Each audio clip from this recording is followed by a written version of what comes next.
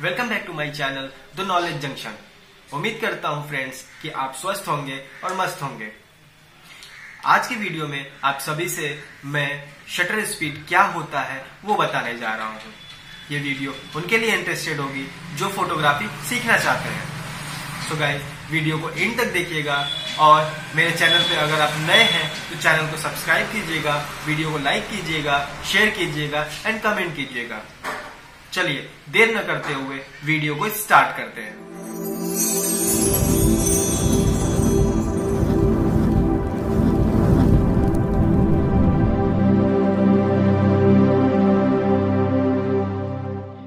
किसी भी कैमरा में शटर सबसे ज़रूरी हिस्सा होता है, जो कि यह तय करता है कि कितने समय तक लाइट इमेज सेंसर पर पड़े, जिसको कि शटर रिलीज़ बटन से कंट्रोल किया जाता है।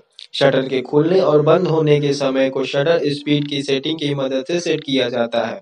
शटर स्पीड का सीधा सा मतलब है लाइट के सेंसर पर पड़ने वाला समय या जिस समय के लिए शटर खुलता और बंद होता है, वही शटर स्पीड होता है।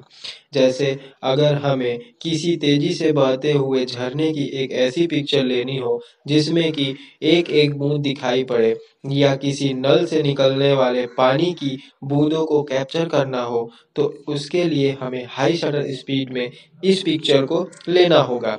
ठीक वैसे ही, अगर हमें किसी नदी के बहते हुए पानी की ऐसी तस्वीर लेनी हो, जिसमें नदी का पानी बहते हुए दूध की तरह दिखे, जिसे कि मिल्की इफ़ेक्ट कहते हैं तो उसके लिए हमें लो शटर स्पीड में फ़ोटो लेना होगा।